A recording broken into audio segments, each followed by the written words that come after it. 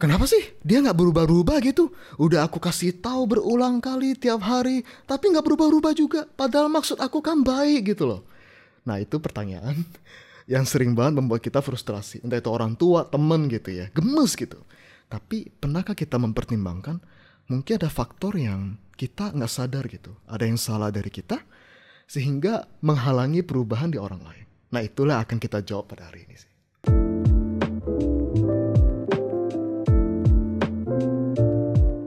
Halo Rick, Hai, gimana kabarnya? syukurlah baik. Baik ya, bersyukur, bersyukur. Rick, em, hari ini gue pengen ngobrol sama lu tentang cara merubah perilaku orang lain. Oke. Kenapa? Karena kemarin tuh gue kebetulan dihadapkan dengan situasi di mana gue sama orang yang gue sayangin. Hmm. Tapi entah kenapa eh, orang ini melakukan sesuatu yang menurut gue tuh nggak oke. Oke. Hmm. Dan gue pengen ubah dong. Gue Ya. pengen ubah supaya menjadi lebih baik Ya. Eh, dari definisi gue. Gitu kan. Hmm. Kenapa? Karena gue pengen yang terbaik buat dia. Oke. Hmm. tapi gue udah gue coba gitu Hmm. udah kayak eh berubah dong Hmm. tapi dia nggak berubah Ya. terus dilemanya adalah ini kalau gue push terlalu keras Hmm. takutnya dia patah Oke. Hmm. tapi kalau gue lembek-lembek ini setengah-setengah gini Hmm. gue takutnya dia nggak ber, nggak nggak berubah-berubah ya nggak oke gitu kan. Oke. nah itu adalah situasi yang menurut gue tuh banyak orang alamin. Hmm. itu itu untuk yang spektrum positif ya. Ya. untuk spektrum negatif ada orang yang dia hidup sama orang yang dia nggak suka gitu. Hmm. dan orang ini membuat hidup dia jadi kayak neraka. Oke. di atas bumi. Mungkin itu bosnya dia atau atau pasangan bahkan. Atau bahkan Hmm. istri atau suami. Ya. itu kan dilema banget ya. Ini gimana gitu. Gua gua nggak mau hidup gua kayak neraka sedangkan gua nggak tahu gimana cara merubah dia. Nah gitu sih Oke. Menurut gimana tuh? Oke baik. Nah ini mungkin em, apa yang baru aja diobrolin sama Andre mungkin suatu kegemesan yang semua orang dalam setiap musim kehidupan pasti pernah ngalamin. Kayak seperti yang tadi sempat disinggung gitu ya orang tua ke anak gitu ya. Kok dia gitu terus gitu. Gemes deh pokoknya ke temen kita tahu ini temen lagi ngaco nih. kita sih, tahu nih gemes gitu kok. Bahkan ya anak kecil sekalipun kadang mereka gemes ketika mereka belum terlalu ngerti gitu ya, belum terlalu bisa mempertimbangkan berbagai perspektif. Maka pengen orang tuanya yang berubah gitu. Kok aku minta ini nggak dikasih? Kok aku nih jadi kayak always kita jujur kepada diri sendiri ini merupakan wish yang sering kali terjadi. Oke, tapi gini, saya pengen kita mulai dengan fondasi pemikiran yang sama dulu, yaitu kita tidak akan pernah bisa 100% mengubah orang. Oke, karena keputusan selalu di tangan orang itu. Akan tetapi memang dari sudut pandang keilmuan ada faktor-faktor nah yang bisa mendukung meningkatkan kemungkinan lah memotivasi orang itu supaya dia bisa mengambil keputusan untuk berubah. Oke beda loh. Karena kadang kita nggak mau nih dari apa podcast ini orang kayak ekspektasinya wow kita jadi kayak jin gitu. Bisa ubah orang gitu. Itu namanya manipulator. Beda. Oke? Itu namanya manipulator. Manipulator. Hmm, betul. Menarik. jadi no kita tentu saja kita ini podcast baik-baik ya kan? Gitu. Ya kita ini podcast baik-baik tenang aja. Kita akan sharing. Yo, iya, kita akan sharing. Kita ngobrol gitu ya. Faktor-faktornya apa-apa aja sih yang bisa kita pertimbangkan penting banget untuk kita kayak apa ya pikirkan kita sadari udah ada belum kalau belum terus aku mesti ngapain nah kira-kira gitu nah ta- eh, btw ya. Ini eh, itu gue setuju. Tapi ya untuk orang yang gendeng kayak gua gitu ya. Untuk orang yang gendeng gitu ya. eh, di kepala gue timbul nih pertanyaan, kenapa nggak bisa diubah? Kenapa gitu? Kan sayang banget ya gitu ya. Hmm, Coba aja bisa dikontrol semuanya Ya. sesuai sama apa yang gue mau gitu. Kan itu oke. Hmm, Tapi nggak bisa. Kenapa tuh? Oke baik. Nah sebenarnya pertanyaan itu mungkin sebenarnya bukan topik utama podcast hari ini ya. Mungkin someday gitu. Tapi untuk teaser, cie. teaser. Ya, untuk teaser sama kayak ketika ada orang gemes, misalnya ada orang di dalam relationship yang abusive. Kan kita gemes ya. Kenapa sih nggak keluar aja? Kenapa sih mau aja kayak diatur-atur? Kenapa sih nggak berubah? Kenapa sih nggak patahkan siklusnya? Kenapa sih ada kadang kadang nggak semua ya kadang ada orang tua udah tahu salah tapi nggak mau berubah tetap ini aja faktornya banyak contoh ini sebenarnya em, gue lupa sih gue udah pernah share atau belum gitu ya tapi waktu gue belajar psikologi budaya ini gue cukup kaget dan tercengang juga maksud gue gitu ya mau nggak mau kan kalau kita mau kelompokin dua hal ada budaya barat, ada budaya timur. Oke, budaya Asia dan budaya western gitu ya. Betul. Nah, lucunya ketika orang-orang yang budaya western meneliti psikologi budaya tadi, oke, sosiologi gitu, mereka menemukan fenomena losing face. Hilang muka. Muka gue taruh mana? Kayak gue kaget, oh gue kira itu cuman sekedar kayak ya orang Asia aja yang tahu gitu. Muka gue ditaruh ke mana, dibecandain gitu. Eh ternyata dalam penelitian ditemukan benar-benar ada fenomena sosialnya. Kenapa sih gue singgung hal ini? Karena itu salah satu faktor yang sering kali membuat orang sulit berubah. Oke, lebih baik gue stay begini daripada gue kehilangan muka. Karena kalau gue berubah, karena dia kasih tahu gue, berarti gue mengaku gue salah dan kalah. Jadi orang lebih baik stay meskipun dia sadar loh, aku salah, tapi karena gengsi muka, karena muka. Kalau gue berubah, berarti gue mengakui gue salah. Akhirnya dia nggak mau berubah. Nah ini mentalitas yang sebenarnya kita bener-bener mau ah kita patahkan lah gitu. Baik itu orang tua, baik itu guru kadang gitu ya. Pernah sih ketemu guru yang udah jelas salah gitu ya, dikasih tahu oleh muridnya, tapi tetap bandel banget, batu banget gitu Ada loh. banget. Bahkan hukum, hukum anaknya. Karena gengsinya dicoel, ya kan? Dicoel-coel gengsinya sama kayak orang tua, nggak mau ngaku salah. Gue punya pengalaman di kuliah itu kayak begitu dan pas gue point out dia malah agresif. Agresifnya parah pula. Yes. Di depan semua orang pula. Jadi kayak itu eh, itu, itu itu cukup menyakitkan dan, dan itu pelajaran buat gue sih anyway. Mm-mm. Dan by the way perbedaan usia ini ya sebenarnya fenomena ya universal sih meskipun memang dalam budaya yang lebih terbuka seperti yang western gitu lebih kecil kemungkinan. Tapi di budaya Asia tuh susah banget. Makanya setiap kali saya ketemu klien yang lebih tua gitu ya. Saya selalu appreciate. Thank you ya udah mau jujur, udah mau terbuka, mengakui kelemahan, mengakui hal-hal yang mau diubah. Itu. Karena dalam budaya Asia nggak gampang loh pak atau bu gitu ya, atau kak gitu. Kalau misalnya nggak beda jauh banget untuk mendengarkan sharing pengarahan gitu ya dari orang yang lebih muda, termasuk saya. Hmm. Jadi gue selalu appreciate karena untuk berubah dibutuhkan jujur kepada diri sendiri. Betul. Untuk orang bisa jujur kepada diri sendiri dibutuhkan kerendahan hati dan nggak semua orang bisa. Hmm. Nah, Gue setuju. itulah kenapa. Nah nanti deh kita akan salah satu faktor nanti Siap, kita bakalan ngobrolin di sana. Boleh, boleh. Nah, Dre, yang tadi contoh yang lu sebut itu tuh em, yang ketika ada orang yang gue sayang tapi kok nggak berubah-ubah, makanya kesel gitu ya. itu tuh em, bisa dikatakan begini, dari dari sudut pandang keilmuan, temen lu itu mungkin dia masih ada dalam tahap pre-contemplation atau contemplation. Nah, itu apa? Gini. Jadi guys, dalam dunia konseling ada sebuah teori yang sebenarnya ini menarik. Oke, ini sebenarnya bisa diaplikasikan dalam hubungan apa pun, nggak cuma dalam konseling gitu ya. Ada enam tahap perubahan. Gue bakalan share ini singkat supaya ini karena ini fondasional. Oke, ini fondasional banget, eh akan dibawa-bawa terus sepanjang kita ngobrol gitu. Siap.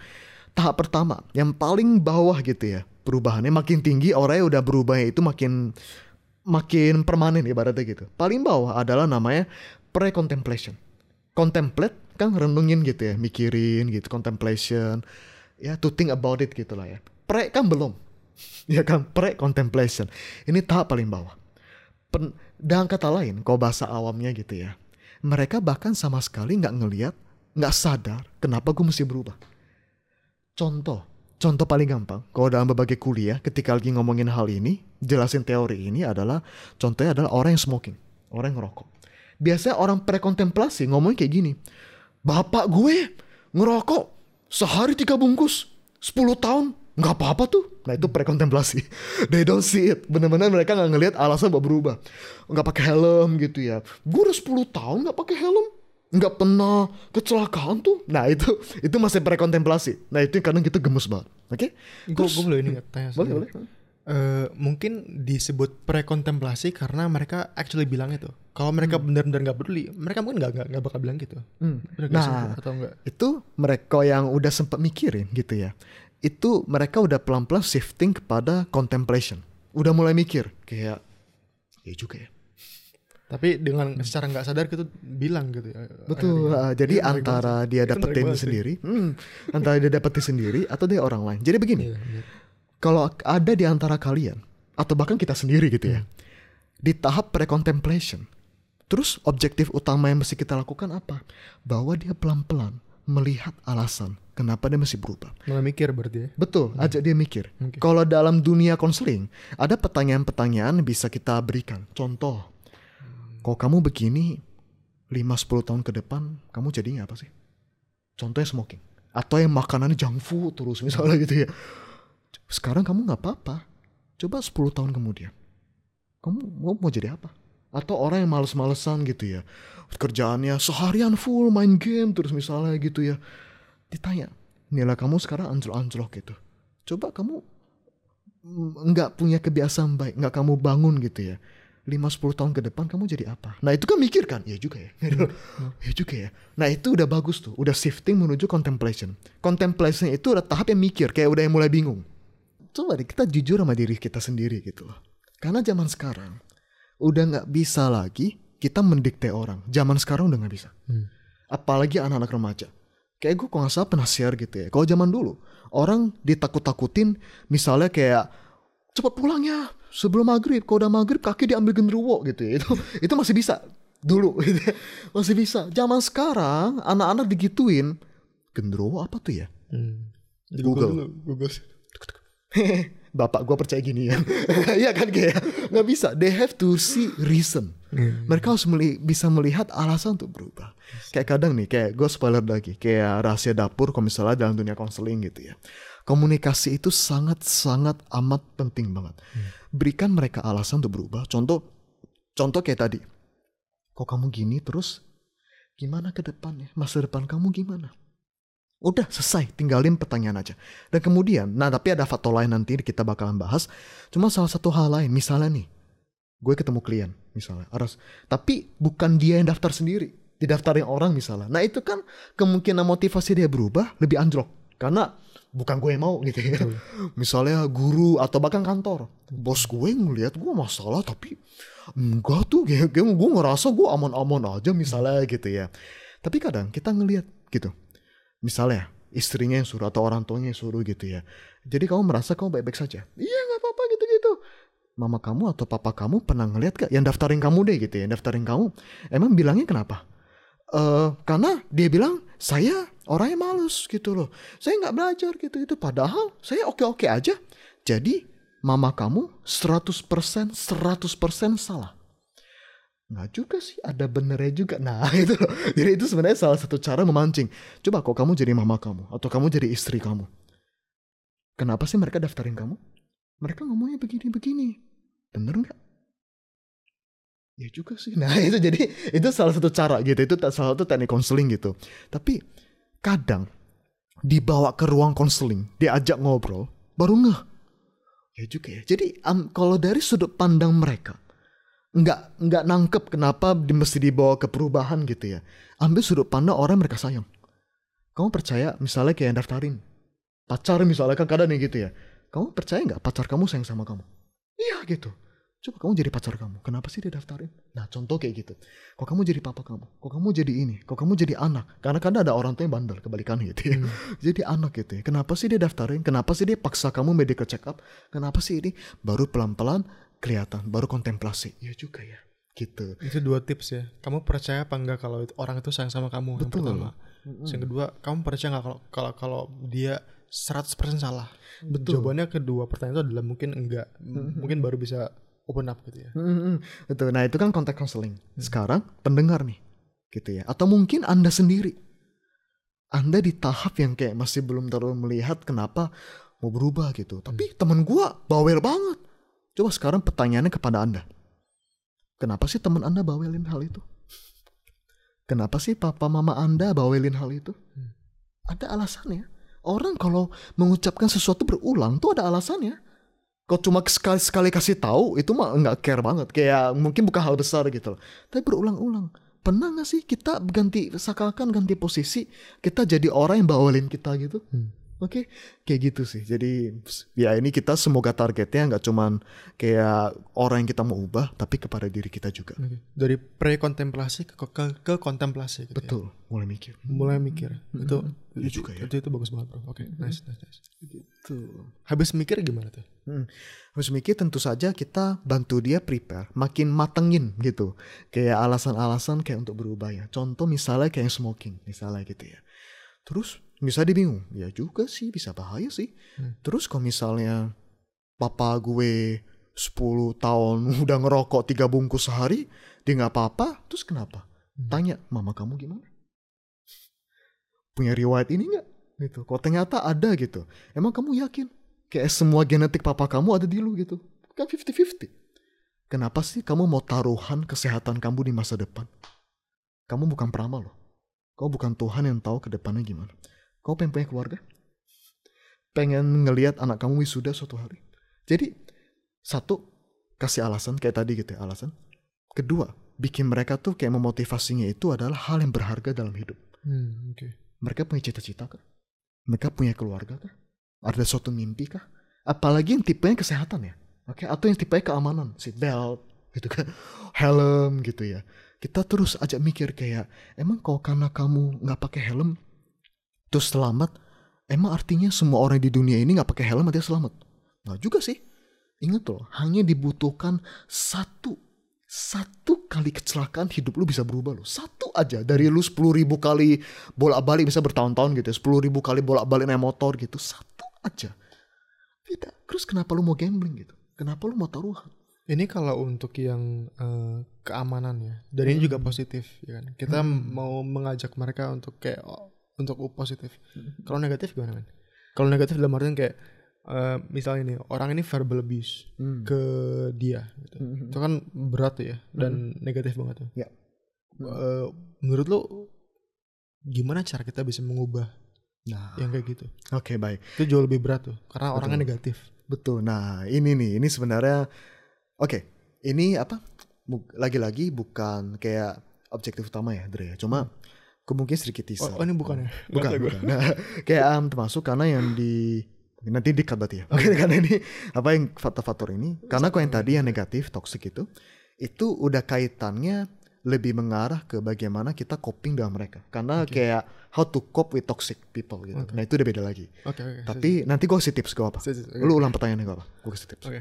Gak apa-apa, kita la- lanjut ya. Oh lanjut oke baik.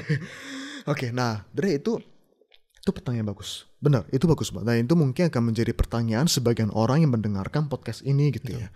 Tentu yang bisa kita lakukan adalah satu-satunya komunikasikan yang tepat. I feel gue ngerasa misalnya gue ngerasa nggak dihargai ketika cara ngomong kamu kayak gitu. Hmm. Contoh, gue ngerasa kayak kayak gue di gue sakit gitu. Ketika lo ngomong kayak gini seakan-akan kamu nggak menghargai perjuangan aku selama ini. Hmm. jadi tekankan di sakit ya. Tekankan kayak alasannya. Bisa dan solusinya. Itu komunikasi itu cara komunikasinya gitu loh. Bisa nggak setiap kali kamu ngomong gini jangan hindari kata-kata begini? Kuncinya begini. Nah ini yang gue pengen benar-benar semua orang pendengar podcast ini ngerti. Kalau dia lawan bicaramu gitu ya bener-bener sosok yang care sama Anda. Dan Anda udah pakai cara yang bener. Ingat ya, catatan garis bawahi, italic, di bold, cara komunikasi kita udah bener. Ngomong baik-baik, segala teknik asertif kita udah pakai gitu ya. Hmm. Kalau dia bener-bener care sama Anda, dia bakal dengerin.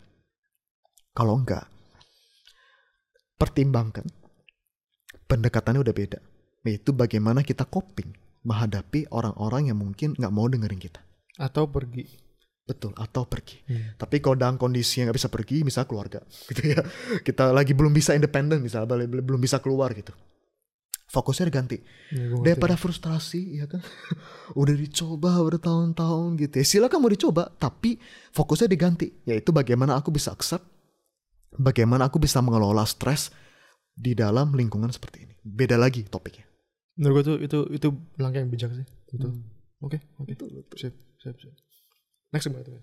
Nah, begini sih. Kalau next adalah mungkin penasaran gitu ya. Oke lah, kita nggak ngomongin negatif.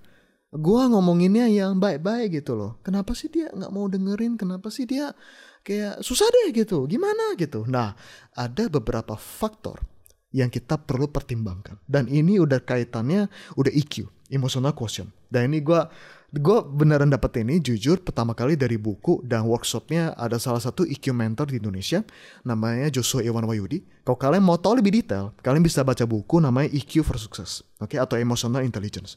Nah, ada beberapa. By the way ini ilmu ya, ini penelitian. Ini benar-benar sudah diteliti teliti banyak banget dalam psikologi relationship. Oke, jadi yang kita sharingin di sini bukan sekedar kayak pengalaman otodidak bukan, tapi benar ada penelitiannya. Ada beberapa hal yang bisa kita consider. Oke, pertama namanya adalah bank emosi. Oke, bank emosi. Ibaratnya gini, Dre. Pernah denger gak sih ada orang ngomong kayak gini? Biasanya ini orang tua sih. Aduh itu anak nggak mau dengerin gue. Kamu aja deh yang ngomong, dia lebih dengerin kamu Pernah dengar kayak gitu-gitu sih? Bener banget. Pasti ada kan. Atau temen gitu ya. Ah dia emang gak mau dengerin gue. Lu aja deh kayak dia lebih jinak sama lu misalnya gitu loh. Itu ada ada faktornya, ada penelitiannya gitu loh. Kenapa begitu ya? Salah satunya adalah bank emosi. Artinya apa sih?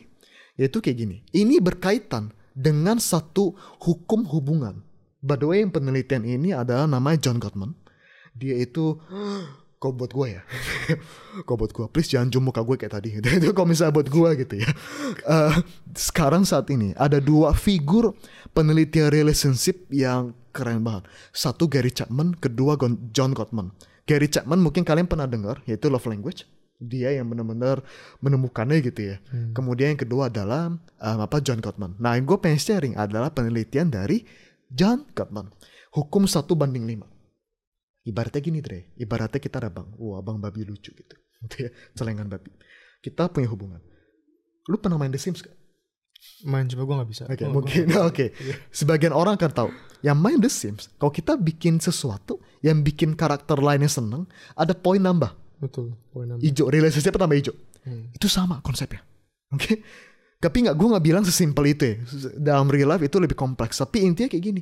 Misalnya ada dompet emosi. Tuh, dompet gue bayang malu nih. Wah misalnya kita ngobrol setiap hal baik. Ya, masuk, Tuh, masuk setiap hal baik itu koinnya satu. Plung plus yes. satu. yes. plus satu. Gue puji lu plus satu. Hmm. lu puji gue di gue plus satu. Kalau kritik gimana? ngobrol. Nah di sinilah satu banding lima muncul. Oke? Okay? oh. penelitian menunjukkan hal negatif poinnya lima. Minus lima Uh, kalau kritiknya kritiknya halus, kritiknya membangun gimana? Nah, oke. Okay. Memang betul. Um, itu pertanyaan bagus. Mungkin gua nggak belum terlalu mendalami gimana, tapi tetap aja. Poinnya bukan di kitanya, tapi orang itu nangkepnya gimana? Nggak enak atau enak? Oh iya, oke. Okay. Hmm. Oh ngerti ngerti ngerti. Okay, betul. Okay, okay, Gini, ini termasuk kritik, termasuk feedback. Intinya adalah segala sesuatu yang membuat dia tuh nggak feel good. Oke, okay? meskipun maksudnya baik loh. Nah, jadi gini, kenapa sih menyinggung hal itu? Ada alasannya. Kalau misalnya ada orang nggak mau dengerin kata-kata kita sama sekali, pikirin, kira-kira selama ini kita bangun hubungannya oke okay atau enggak sih? Nah ini bangun apa? Ini maksudnya kepada connection, jembatan hubungannya. Hmm. Besar kemungkinan kalau dia nggak mau dengerin kita, banknya lagi tipis banget. Mungkin selama ini, nah, by the way, dear parents, gini, saya mungkin bukan orang tua gitu ya. Saat ini saya belum jadi orang tua. Tapi setidaknya saya punya banyak anak-anak rohani gitu ya. Ada banyak orang-orang yang lebih muda saya bimbing. Please, be aware gitu.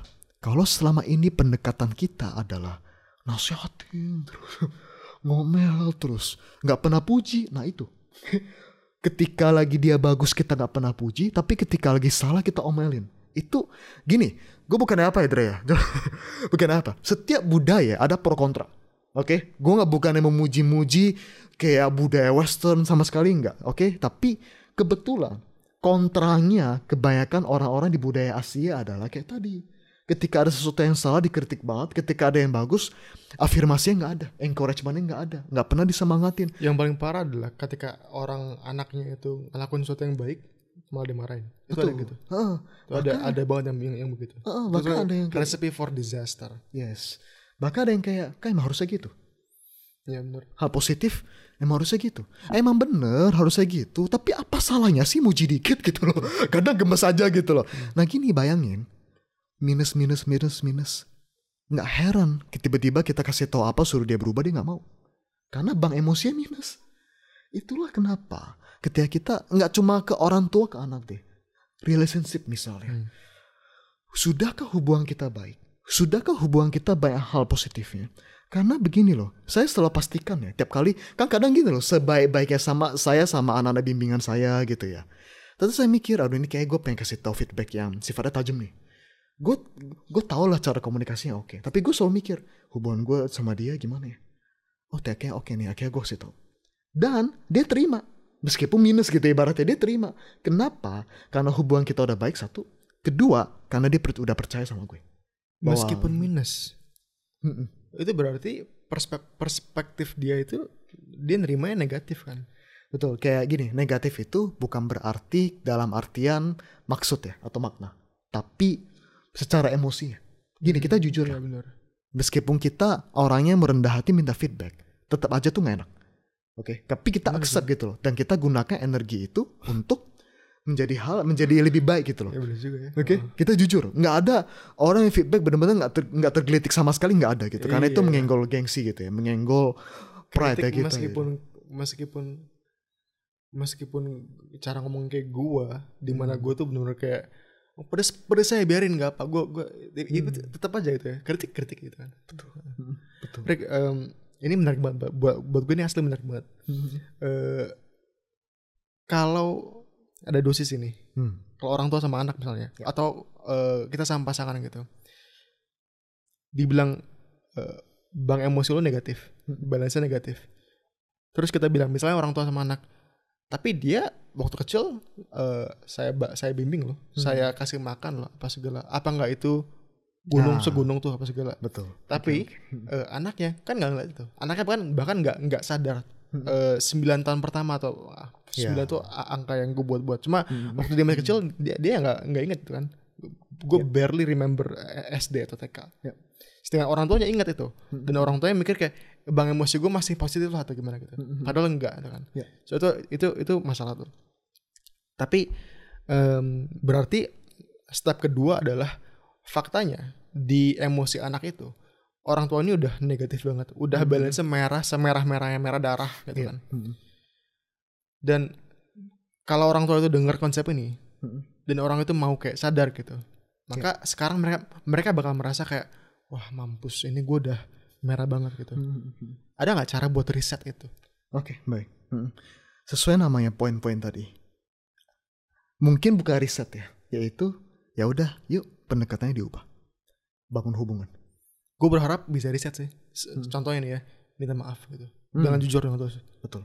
selama ini aku ini apa I I I, I fucked up Hmm. maaf bisa nggak kayak bisa diri atas dikurangin drastis gitu kurangnya supaya ada Oh, oke. ada harapan gitu Iya, sih ah, ngerti. Gini, ya hukum satu banding lima. Tolong yang dengerin mungkin jangan langsung ditelan mentah-mentah bener-bener satu per lima. ya. Itu ini matematika gue nih. Itu tuh lebih menggambarkan bahwa em, apa yang ditangkap negatif jauh lebih berkesan. Itu sebenarnya inti ya. Oke, sedangkan angka-angkanya itu oke kita kita nggak terlalu indah, kita kita nggak usah kita nggak usah pusingin dulu. Tapi tadi itu pertanyaan bagus. Oke, kayak kalau misalnya minta maaf, bisa, tapi jangan pernah menganggap remeh dampak sesuatu yang sudah terjadi bertahun-tahun. Iya bener. Betul akan menjadi kayak ibaratnya udah udah benteng nih kepercayaan anaknya kepada orang tuanya ini impresinya negatif banget gitu ya. Betul, minta maaf itu kayak di bom gede biar gitu. Tapi kastilnya tetap ada. Iya. Butuh waktu. Konsisten. Ingat, kepercayaan dibangun itu waktu. Nggak bisa yang nggak bisa yang cuma sekali. Kayak masa sih orang tua beneran nyesel? Terus bener tiap hari berubah. Tiap hari bener-bener cara ngomongnya udah berubah. Tiap hari jadi lebih suportif. Tiap hari udah ini. Lama-lama dia baru mikir kayak beneran berubah. Nah itu yang penting konsisten. Kayak The Sims lah. Kasih kasih kasih. Gini yang gue suka ya dalam The Sims itu kayak kalau kita nggak bangun hubungan sama karakter lainnya dia turun dikit-dikit loh. Iya. Makanya masih konsisten nah itu kuncinya drastis dan konsisten betul drastis dan konsisten oke Sip, mantap Jadi coba deh kita pikirkan gitu ya. Mungkin kok ada orang bilang kayak, lu aja deh ngomong gitu. Dia lebih dengerin lu. Mungkin orang itu bang emosinya lebih gede.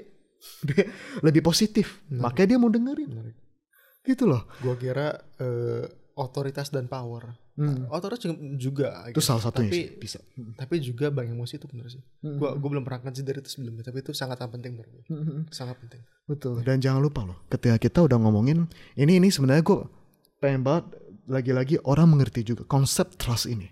Percaya. Ini berkaitan dengan bank emosi. Kalau orang udah celengannya bagus gitu ya. Hmm. Kling kling kling kling meskipun ada minus tapi kling kling kling lagi gitu ya. Lama-lama mereka bakal percaya sama kita. Meskipun anggap deh misalnya gitu ya orang tuanya anaknya impresi udah banyak. Atau temen deh sahabat kita ganti lah kasih orang tua dulu gitu ya. sahabat gitu.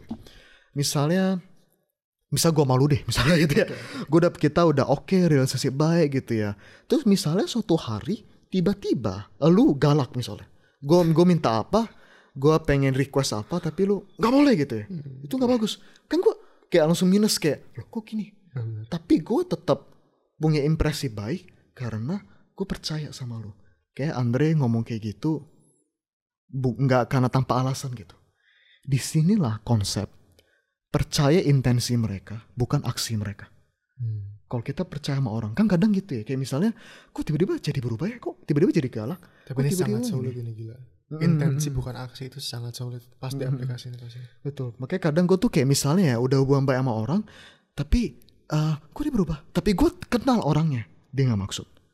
Nggak maksud jahat maksud dia nggak maksud jahat sama gue dia punya maksud baik atau mungkin ada faktor lain yang bikin dia lagi bete. Nah itu kan percaya. Dua sih itu. Uh, lu kenal sama orangnya mm-hmm. dan lu tuh lu. Gimana mm-hmm. lu tuh mengerti gimana cara manusia bekerja makanya lu bisa second lu bisa apa ya? Lu bisa rem gitu kan mm-hmm. gitu. Betul. Lebih orang dewasa bisa begitu kayaknya sih. Betul. Dan gini loh, gue juga selalu pastikan kepada anak-anak bimbingan gue gitu ya, yang gue mentor gitu, itu gue selalu invest yang baik, positif, positif, positif gitu. Tapi ada kalanya kalau lagi ada yang salah, gue tegas lah hmm. gitu. Gue kasih kritik, gue bilang nggak boleh, nggak boleh gitu. I'm sorry tapi nggak boleh. Nah kalau gue nggak ada hubungan baik sama mereka, mereka bakal berontak tuh pasti. Hmm. Tapi so far syukurnya tuntut-tuntut aja gitu loh kayak ikut aja gitu kenapa karena mereka percaya gue gak ada maksud jahat karena selama ini gue udah baik maksud gue selalu baik ya nggak enak sih tapi gue gue percayalah misalnya kak Erik misalnya gitu ya kak Erik ngelarang ada maksudnya baik. Karena selama ini nah itu histori kan lagi-lagi. Hmm, selama ini tiap kali dia kasih tahu boleh nggak boleh maksudnya adalah buat kebaikan gue dan gue mau percaya itu. Nah itu. Nah udahan sampai tahap itu belum? Kita gitu. Itu evaluasi buat kita gitu loh. Kok kita gemes sama orang? Mereka percaya nggak sama kita? By the way konsep percaya ini ya berlaku dua dua arah loh. Negatif maupun positif loh. Makanya orang manipulatif percaya ah, ya orang yang manipulatif. Ada orang kan kayak tadi kayak relationship yang abusive gitu ya. Itu karena mereka udah manipulatifnya jago banget. Sesekali dikasih makan emosi. Sesekali dijauhin. Sesekali dikasih makan emosinya, dikasih validasi, diterima, lawan bicaranya, sorry, partnernya akan kayak Nah ini ini sebenarnya gue mungkin kita nggak bakal seminar abusive relationship, tapi kadang kadang orang mikirkan kenapa sih orang lebih susah meninggalkan hubungan yang abusive daripada yang baik. Kebalik loh, justru karena itu dimainin emosinya. Jadi dia merasa ketika lagi minus banget, eh tiba-tiba dikasih plus, dia seneng banget. Nah itu jadi gini, terus cara ngebedain aku kayak ketika memberikan memberikan kayak investasi yang positif gitu ya. Dengan gue lagi manipulatif, cara bedainnya gimana? Gampang, satu aja. Lu tulus atau enggak? Lu tulus gak mau dia berubah? Atau lu udah maksudnya, pengen buat keuntungan lu sendiri? Itu juga penting bener. Itu dong perbedaannya. Perilakunya sama loh. Gue bisa katakan loh, beda liter dengan manipulator hanya di ketulusannya. Buat lu, atau lu tulus pengen dia berubah. Untuk yang lebih baik. Itu doang perbedaannya. Sangat menarik. Uh, next adalah kalau kita udah yakin bahwa bank emosi kita positif, hmm. what next? Gue bersyukur uh, hubungan gue sama orang ini udah positif, uh, hmm. yakin gue. Hmm. Tapi tetap aja masih belum ya. Betul. Uh, gitu sih. Hmm. Kalau gitu konsisten, pelan-pelan, is oke. Okay. Karena banyak faktor lain. Siapa tahu dia dianya memang lebih batu misalnya, gitu ya nggak apa-apa, konsisten aja. Aduh, tapi itu kayak sebenarnya satu yang yang jelas sih buat gue udah jelas gitu adalah uh, harus diubah jangan ini actionnya tapi lebih ke ajak mikir itu yang yep, harus betul. Di, dan by the way Dre sebelum gue lupa gue baru keinget konsep yang bang emosi tadi itu ada alasan ada alasan utama juga kenapa kita cenderung nggak dengerin kata stranger kita cenderung nggak dengerin kata-kata orang yang kita baru ketemu. Hmm. Bayangin ya, tiba-tiba tengah jalan ada orang bilang, jangan ngerokok nggak sehat loh siapa lu gitu ya siapa lu, gitu. itu ada alasannya gitu meskipun dia bener loh oke okay? meskipun dia bener kita jangan lupa ya kenapa dari tadi saya ngebahas soal bank emosi karena begini sering kali orang secara kognitif secara logika secara rasional udah tahu alasan logisnya ABCD kenapa dia masih berubah tapi on emotional level mereka belum keep up belum satu level makanya nggak mau. Itulah kenapa saya ngebahas bang emosi. Karena sering kali faktor emosi yang orang nggak sadari penting. Kan orang kadang mikir ya, gue udah kasih tau yang baik. Bener-bener dia lagi menghancurkan diri dia pelan-pelan gitu. Kenapa dia gini? Itu kognitif. Kita kasih tahu dia ABCD alasannya. Itu yang tadi itu ajak mikir. Tapi jangan lupa, emosi juga perlu. Karena kita manusia nggak cuma kayak robot di input alasan rumus berubah. Ada faktor emosinya juga. Nah, salah satu faktor emosi. Betul itu uh, sorry bro. Ada faktor emosi juga atau atau Nah. Manusia tuh like 90% emosi, 10% kognitif. kognitif. Oke, lagi-lagi ini sangat bergantung tiap orang lagi. Bener. Kayak misalnya ada orang kan kayak lebih cenderung berpikir pakai emosi lebih banyak. Ada orang lebih banyak pakai logika gitu. gitu. ya. Oke. Nah, tapi memang ya aspek logika nggak deh, dua-duanya bisa dilatih. Jadi jadi tenang aja gitu. By the way, jangan stereotip kayak cowok lebih logis, cewek lebih feeling gitu ya. Itu itu gini, itu tuh at some point ada betulnya On average Tapi- statistika, I guess. Eh, on average tapi enggak enggak semua orang. Karena banyak orang dari awal fondasi berpikir udah kayak gitu. Iya benar. padahal belum tentu. Padahal belum tentu. Padahal kok lu ini banget sih? Bukannya cewek itu feeling banget belum tentu. Pernah ketemu cewek CEO Wah logikanya men. Jadi kayak gitu. Jadi lagi-lagi ya. Jadi tinggalkan segala asumsi itu Be open Tentang tiap orang CEO-nya berbeda-beda. AMD tau gak? Lisa Su. Oh oke AMD itu gak? Eh, Enggak sih CEO-nya AMD itu cewek dan keren banget, parah. Dia bawa AMD dari Hmm. eh, on the brink of bangkrut sampai jadi sekarang. Di mana kayak Oke. keren banget. Pokoknya you know, juga ada ada yang logis men gitu. kan. Hmm, betul banget, betul. Dan juga bisa dilatih. Dua-duanya itu bisa dilatih. Oke. Nah, Sip. yang Safe space. Betul. Nah gini, betul. Nah ini sekalian kayak gue pengen ngelanjutin yang tahap perubahan tadi sih, karena itu ini akan nyambung. Terutama kalau kita ngomongin Enggak sih, dua-duanya bisa. Entah kita yang berubah atau orang lain berubah gitu ya. Gue lanjutin. Tadi kan kita udah yang pre-kontemplasi, kemudian ada yang kontemplasi. Udah mikir gitu ya. Terus tahap ketiga apa? Preparation. Udah mulai kayak yang mulai, terus gue mesti ngapain? Hmm. Bikin planning bareng-bareng gitu lah. Kayak misalnya, kalau kan biasa ngerokok sehari tiga bungkus misalnya. Coba sekarang dua dulu. Jadi ada teknisnya. Oh gitu ya. Oke, badai gue gak bakalan panjang di sini. Gue bakalan kayak ngebahas lebih yang later stages. Intinya action tuh, eh preparation itu bener-bener kayak teknisnya lah. Teknis. mesti ngapain? Tips-tipsnya kayak apa sih? Itu simple kayaknya. Eh, gampang tuh, nggak nggak susah ya. sih? Mhm, Betul. Dan kemudian berikutnya adalah action. Uh, udah jalan nih. Oke, susah nih. Hari-hari pertama. Ingat ya, semua orang pasti pernah ngerasain betapa sulitnya mengubah kebiasaan terutama di tahap awal. Oke, itu susah banget. Oke, pelan-pelan berubah, pelan-pelan berubah. Action, syukurlah ini baru mulai. Kemudian baru tahap berikutnya, maintenance. Ini yang susah. Oke, maintenance itu adalah ketika seseorang tuh udah lebih terbentuk kebiasaannya. Oke, udah bisa. Udah, Udah bertahan berminggu-minggu. Gimana betul. cara terus melangkah? Betul, ha, maintenance. Jadi setiap kali ada godaan pengen balik ke kebiasaan lama, gue mesti ngapain? Nah itu contohnya. Baru dibikin plannya. Misalnya bareng-bareng, ya lu telepon gue aja. Misalnya kalau lagi ada ini gitu. Atau lu ngapain kek makan permen karet. Nah itu, itu contoh-contoh gitu. itu maintenance. Make sense. Nah ini nih, yang berikutnya yang gue pengen lebih bahas di sini sebenarnya, yaitu di tahap maintenance.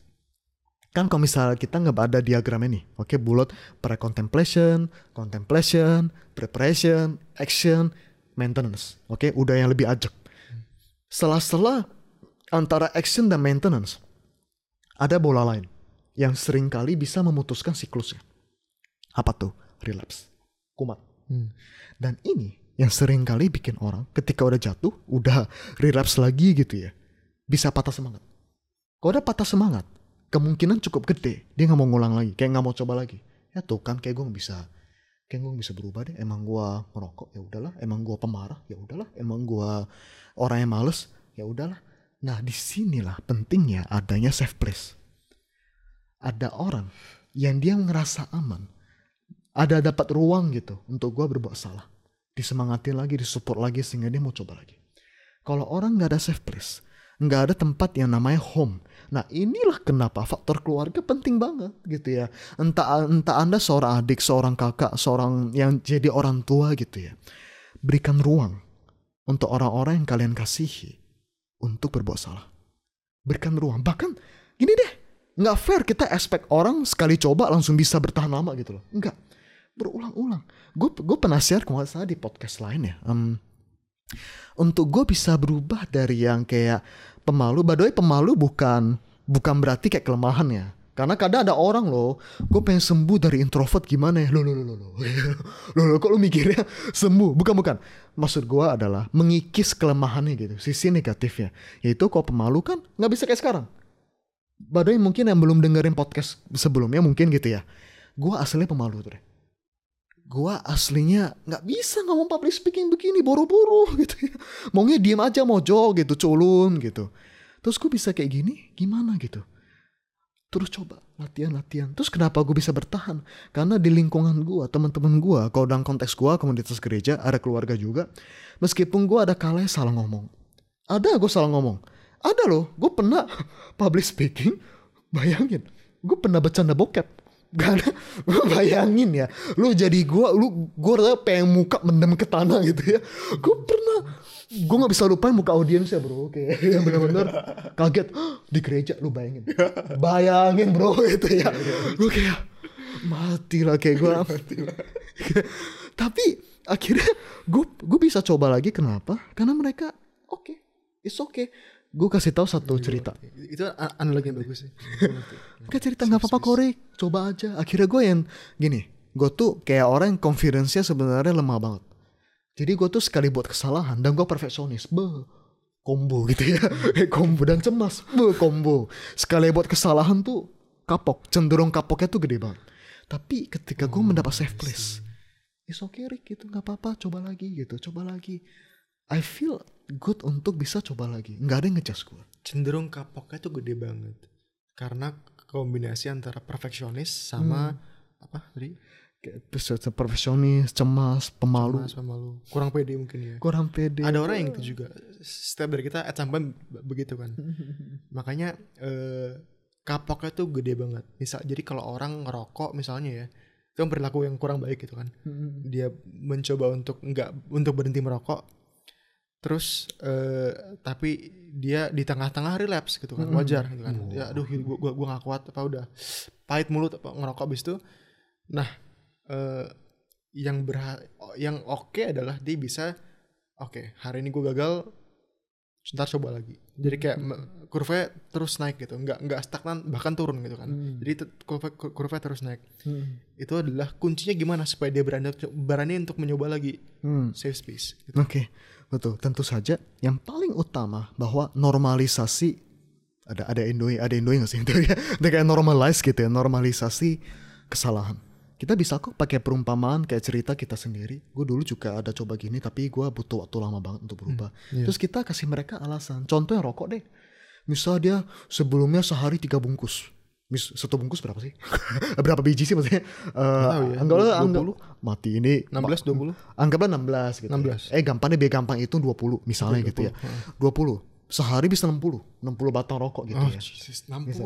Ini kalau kita sekarang gue gue baru kayak wah 60. Mungkin mungkin lebay kita dua bungkus deh ya. Saya dua bungkus masih lebih ini. Tapi ada sih orang tiga bungkus. Ada sih betul. Tapi ya 60. kita lebih tengah lah. Misalnya 40 deh, lebih gampang. Okay. 40 misalnya dalam seminggu 40 kayak 7 bisa 280 misalnya 280 batang rokok hmm. terus dia kayak gagal gue baru seminggu tapi gue udah hmm. gitu lagi terus kita ini bro nggak apa-apa setidaknya dari yang lu seminggu 280 batang sekarang udah misalnya seminggu 40 kayak 5, 5 hari dia berhasil misalnya cuma jadi satu bungkus. Eh sorry tadi dua bungkus sehari. eh guys sebungkus kan 20. Jadi cuma 20 kayak 5. Cuma jadi seratusan bro. Berkurang nggak? Berkurang. Gak apa-apa meskipun lu gagal, lu udah improve karena dari Berapa jumlah betul lah, bro, persen gitu. Hmm.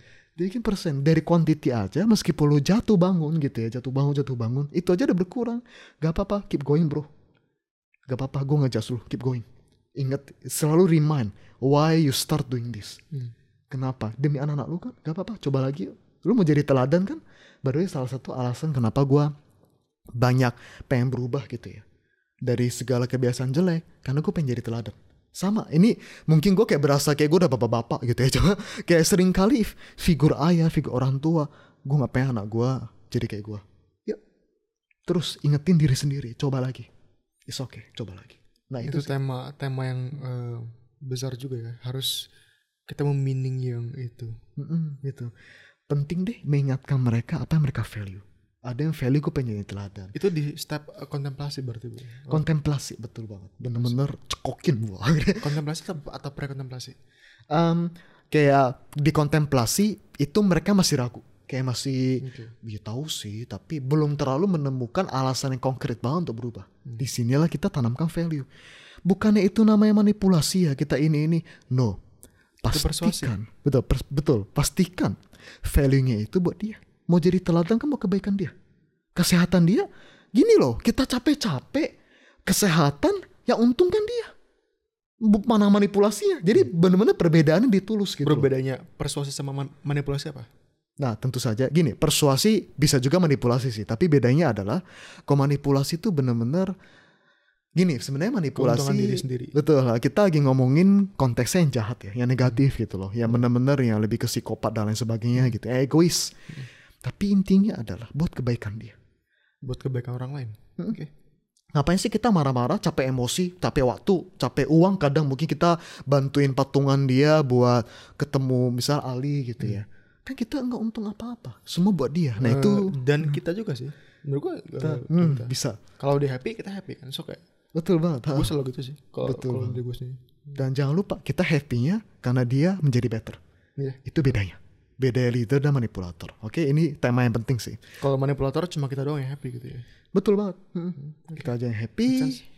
Cuma buat kesimakan diri kita sendiri, kita yang untung itu manipulasi. Kasih makan fisik atau ataupun ego ya. Hmm, Karena kayak gitu kan. Betul, Anyway. betul. Ya. Hah, jadi em, itu sih teman-teman kayak yang apa tahap-tahap kayak perubahan. Please safe space. Ini penting banget. Maksudnya ada loh orang ketika lagi salah nggak berani ngaku. Itu berarti tempat dia berada bukan menjadi safe place. Gue Iya bener. Make Eh, sense. gue tau loh ada orang. Ini yang gue gemus banget gitu ya. gue tau loh ada orang yang sekolah kayak bukan sekolah deh kayak lingkungannya ya gitu ya. Tiap kali temennya bilang gue pengen buka bisnis ini nih, lingkungannya langsung kayak ah lu mah udahlah nggak bisa gitu udah lu mah dari dulu mah dari dulu yang apa ti orang bandel gitu-gitu dikituin coba akhirnya kan orang jadi kayak mau ngomongin ide untuk berubah hidupnya pun jadi ragu. Ya juga ya memang gua, gua gini-gini aja. Terus mungkin misalnya jadi beneran jadi buka stand tahu bulat misalnya. Bagus gak bisnis kecil gitu? Bagus. Daripada ngapa-ngapain gitu itu langkah awal gitu loh. Eh tuh misalnya tiba-tiba rugi. Terus dia ngomong ke temennya tuh kan gue udah gue apa gue bilang memang lu nggak bisa bisnis misalnya gitu-gitu. Ya orang kan jadi ngedown gitu loh gue kadang kadang gemes gitu. Ya kita ciptakan lingkungan tanah air gitu ya. Indonesia ini tuh tempat yang benar-benar memberikan ruang untuk lu boleh salah gitu. Boleh salah. Hmm. Karena kalau lu salah lu belajar. betul banget. Bahkan gini loh kan orang quote quote yang sering kali dipakai sometimes you win sometimes you learn gitu. Itu bener loh. Banyak banyak pelajaran hidup yang bisa kita dapatkan hanya dari kesalahan bahkan gue selalu bilang ke klien gue loh mereka yang punya mental health issue gitu. Hmm. mereka yang kayak kenapa sih gue ngalamin gini? Teman-teman gue yang nggak ngalamin ginian mereka udah yang married mereka yang udah buka bisnis mereka yang udah ini. Jadi kayak mereka merasa pengalaman mereka tuh menghalangi mereka untuk memiliki sesuatu yang mereka dambah-dambahkan gitu. Oke biasa gue validasi dulu. I know this is hard nggak enak gitu. Tapi dari ini lu belajar apa sih? Ternyata sadar nggak sadar karena pengalaman ini mereka tuh ya tiap kali dengerin curhat orang mereka ngejas sama sekali. Kenapa lu bisa begitu? Karena gue tau rasanya itu pelajarannya. Hmm. lu gak bakal bisa dapetin itu kalau lu nggak ngalamin ini sekarang. Bener. gue gue mantan orang depresi parah. Gue mantan orang cemas parah. I wish it never happen sampai sekarang. Karena gue sekarang masih gampang sensitif. Kalau ke trigger apa gue tuh gampang masih kayak uh ketika luka lama dibuka lah gitu. I wish it never happen. Tapi apakah gue menolak kayak nyesel gitu? Nggak juga. Karena hal-hal itu yang sangat memodali gue sebagai psikolog saat ini Benar. gue ciptakan tempat aman. Karena gue tahu bagaimana rasanya lu disepelekan masalahnya bagaimana rasanya lu buat salah terus menerus bagaimana rasanya lu punya masalah yang sifatnya masih tabu di masyarakat. Gue tahu. Dan itu gue dapatkan dari pengalaman ya justru yang jelek-jelek itu loh jadi Kalau lu salah lu belajar.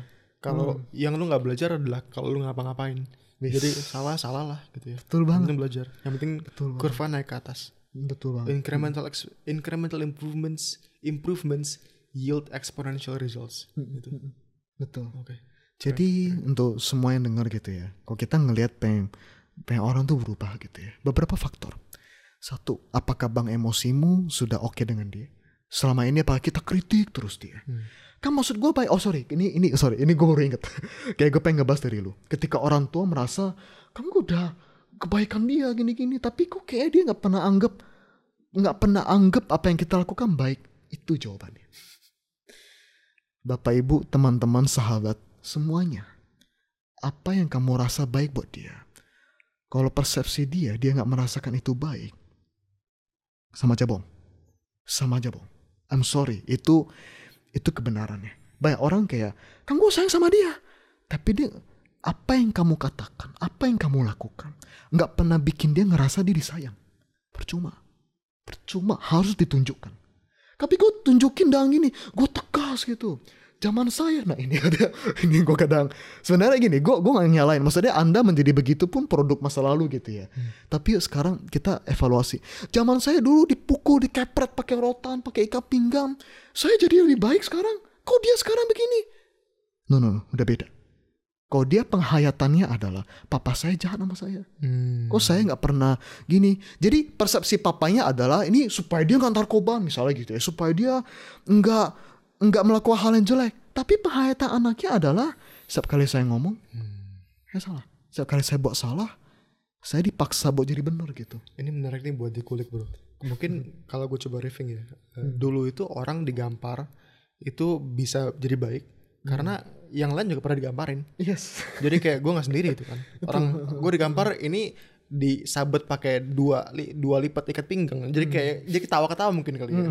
Jadi nggak nggak kayak dibuat ini. Tapi kalau zaman sekarang karena semakin sedikit yang begitu dan yang lain tuh normanya adalah diomongin gitu kan. Kalau modern mah diomongin. Tapi ini kok bapak gue di, nge, nge, nge- nge- ngegampar gue itu kan. Jadi kayak itu yang membuat malah jadi negatif banget gitu. itu kayak sih. Hmm, betul. Terus salah lagi adalah eh, fakta itu bukan realita. Hmm, Persepsi itu fakta. Betul. Eh, persep- persepsi itu itu adalah realita. Jadi persepsi itu segalanya. Gitu. Betul. Ada yang namanya kebenaran subjektif. Ini penting banget Kebenaran subjektif. Eh, dalam hal gini kita lagi lagi ngomongin dalam hal relationship ya konseling gitu ya hubungan orang tua anak dan lain sebagainya teman dan teman gitu kebenaran subjektif apa yang kamu pandang baik belum tentu mereka rasakan baik ini penting banget yang mukul itu sifatnya dikte dan tadi yang seperti kita udah sempat kita udah sempat bilang zaman sekarang udah nggak bisa didikte anak-anak Iya, udah kritis Ngerti gua. Heeh. Jangan zaman sekarang itu nggak nggak bisa didikte. Oke. Yang jadi yang yang bisa itu apa? Eh, Em, apa persuasi. berikan betul persuasi berikan mereka alasan kenapa saya kenapa saya masih dengerin kata-kata kamu Iya. Oke. Itu itu juga penting tuh. Throwback yang yang, yang penting bingung yang yang mana yang mau disimpan nih. Ah, bahkan ya kalau kita mau ngomongin lebih kayak kasus lebih unik ya ada orang tua kayak misalnya kok dia lebih dengerin kata motivator? Yang nggak pernah ketemu di rumah.